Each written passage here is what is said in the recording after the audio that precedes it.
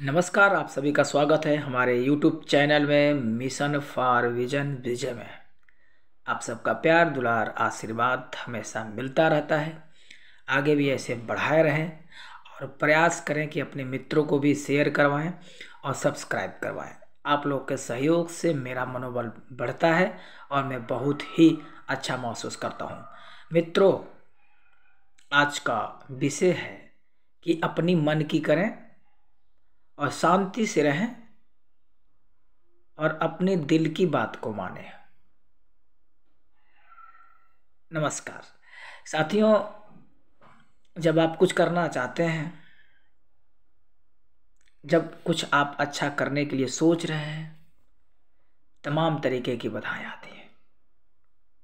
आप किसी से प्यार करते हैं, आप किसी से दुलार करते हैं आप किसी से जलन करते हैं, आप किसी से टसन करते हैं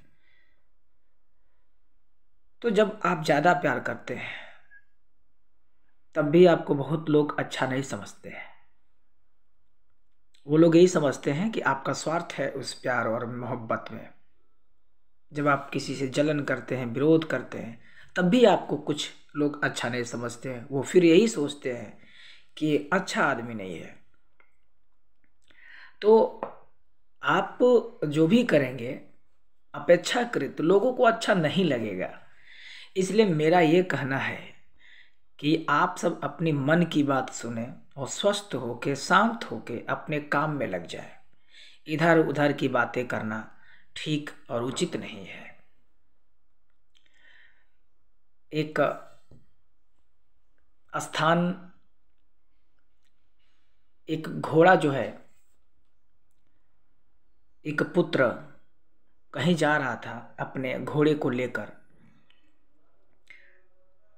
उसके साथ उसके पिता बुज़ुर्ग थे, वो भी जा रहे थे, घोड़ा चल रहा था। पुत्र ने कहा कि, पिताजी, आप घोड़े पर बैठ जाइए, वरना आप थक जाएँगे और रास्ता लंबा है। पिता ने स्वीकार किया और घोड़े पर सवार हो गया। अभी कुछ ही दूर पर साथी चला था। तो लोगों ने देखा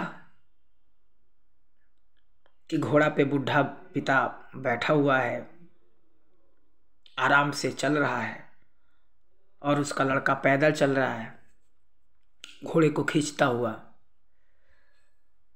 तो लोगों ने कहा कि कैसा तू पिता है रे।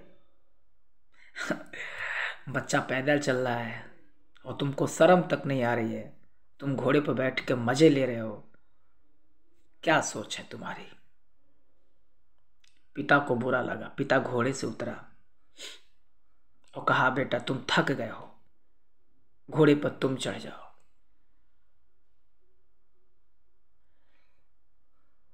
बेटा ने कहा, नहीं, पापा।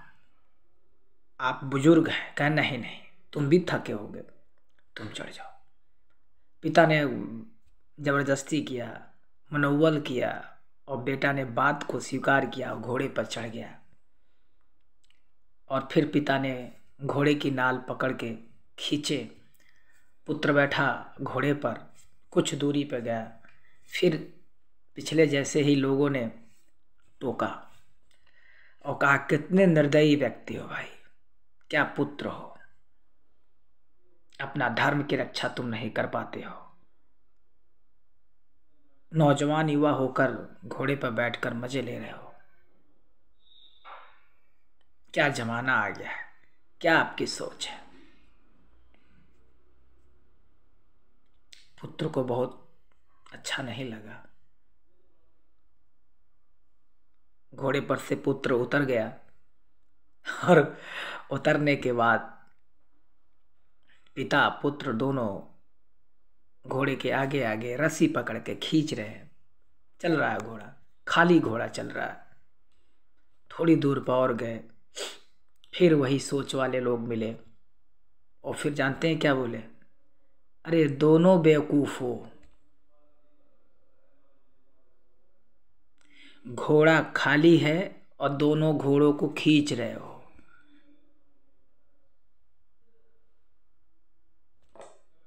अब यही सोच है। घोड़े पर बैठे तो बुरा, घोड़े पर ना बैठे तो बुरा, घोड़ा खाली रखे तो बुरा। कहने का मतलब यह है कि जो आपका मन स्वस्थ रूप से सही निर्णय ले, उसको आप स्वीकार करें। उसको ही आप समझें। अन्यथा लोगों की काम टोकना है, रोकना है लोगों की सोच अच्छी नहीं बन सकती है। इसलिए मन को स्वस्थ रखें, सुरक्षित रखें और आगे बढ़ें। और कॉन्फिडेंस के साथ, अपनी पूरी क्षमता के साथ किसी भी काम के लिए समर्पित रहिए। बाकी का मेरे मन में ये ख्याल आया कि आप सबसे ये बात शेयर करूँ और आप लोग कमेंट भी करते रहिए और प्रयास करिए कि अगर मैं अच्छा बोल पाता हूँ या कोशिश कर रहा हूँ तो एक बार आप लोग हमारा वीडियो शेयर करवा दीजिए, सब्सक्राइब करवा दीजिए। बस और क्या। जय माता दी, जय श्री कृष्णा। राधे राधे।